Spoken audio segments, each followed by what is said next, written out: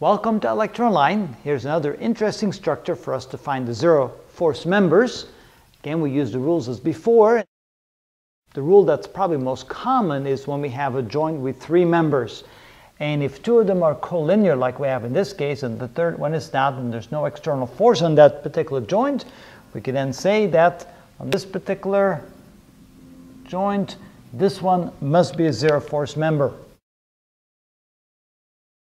We can do the same over here. Here we have a joint.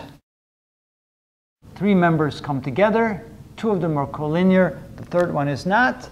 Therefore, this must be a zero force member.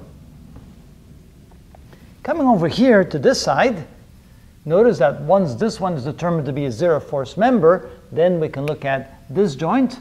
This joint now effectively only has three members coming together because this one doesn't count anymore.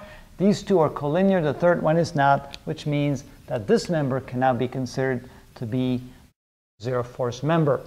Which means that looking at this joint right here,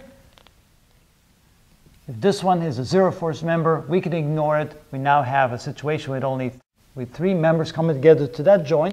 Two of them are collinear, the third one is not, which means that this must be a zero force member.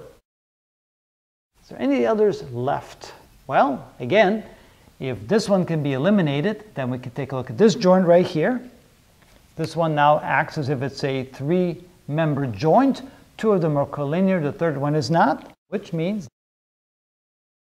that member is a zero force member. Since we've eliminated these two, now we can take a look at this joint. This joint now effectively only has three members, these two right here and the third one. These two are collinear, the third one is not, which means that this must also be a zero force member. We have now eliminated all of the members that are zero force members. All the other ones remain. We have this one right here. We have this one going straight across. We have the, the vertical here, the vertical there, and we have the ones on the top and the bottom.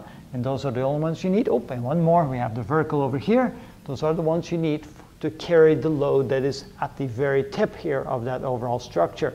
But that's how you determine the zero force members by simply looking for joints where you have three members, no load on that particular joint, two are collinear, the third one can then be considered a zero force member.